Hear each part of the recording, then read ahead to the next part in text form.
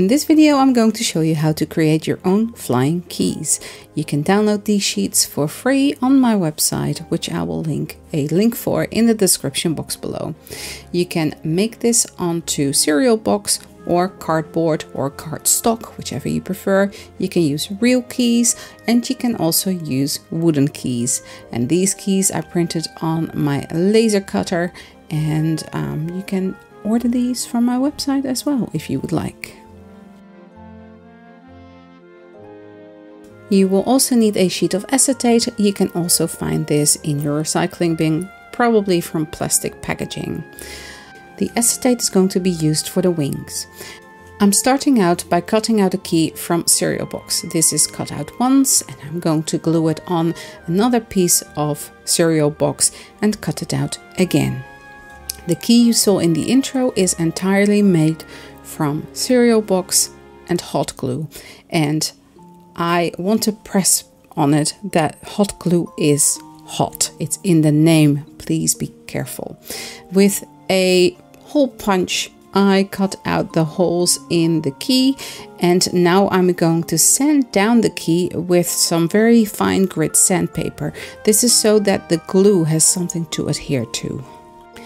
With tweezers I'm going to hold down this key and this key is now I think two or three layers and I'm going to I think even just two layers and I'm going to cover the entire key with hot glue and then going to paint it. This works really really well for making a key. It's really easy and it does not use up a lot of supplies. After painting it black, I'm going to paint it silver, but I'm going to add that with a sponge, so some of the black parts are still visible. Then with a Sharpie, I am going to trace around the wings and I'm using the acetate for this. After tracing around the wings and putting the pattern in, I'm going to cut them out and then I'm going to glue them onto the key. It's that simple. At the tip where I want to glue down the wings onto the key, I'm going to just ever so slightly bend it. So this is where the key adheres, no, not the key, the wing adheres to the key. I'm, I'm then adding a, a little drop of glue to the key and holding the wing in place just for a tiny moment, just so the glue can take hold. For this key, I'm using four wings, but how many wings you are using is totally up to you. And here is the key that is basically made from scraps. Cereal box, hot glue and acetate. Oh, and some paint of course.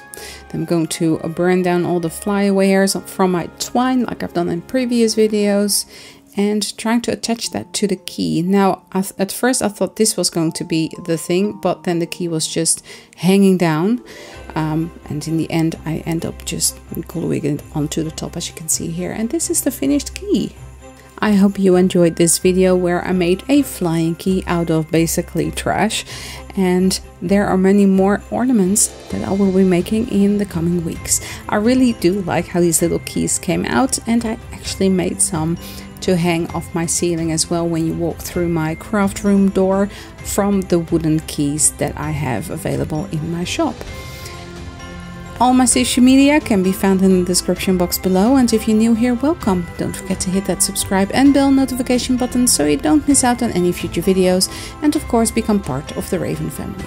Thanks so much for watching, stay safe and I will see you all in the next one. Bye!